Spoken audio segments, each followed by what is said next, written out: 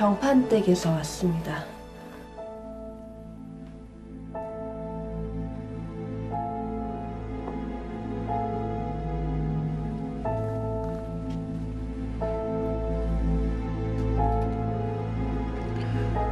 전 것들이 상전한테 인사도 없느냐?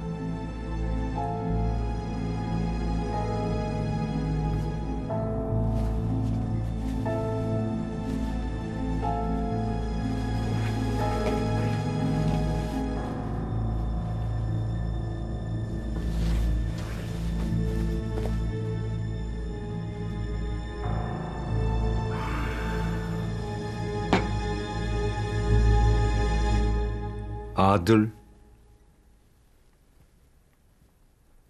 반드시 아들을 낳아야 할 것이다.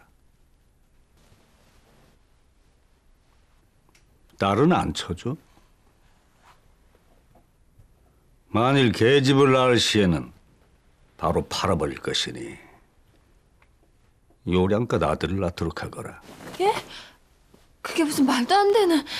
저희를 어디에 쓰시려고 하녀를 구하시는 게 아니었습니까? 들으면 몰라. 지금 시바시고 하는 자리잖아. 뭔가 오해가 있는 모양입니다. 저희들은 그저 행랑이 밖에 있느냐?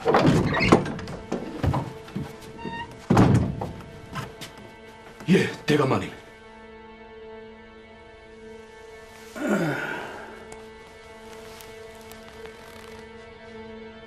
이들이 제 소임도 잘 모르고 왔구나. 아, 아닙니다.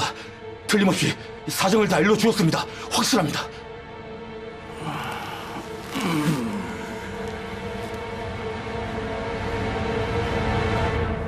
그런데 이것들이 왜 헛소리를 칠 거야?